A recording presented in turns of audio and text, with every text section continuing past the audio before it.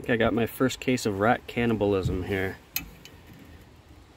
Found two rats underneath the house. Been eaten in through just behind the head. This one too, but a little more extensive. Where They ate everything off of the front legs. I've heard of it, but I've never seen it. Getting pretty crazy around here.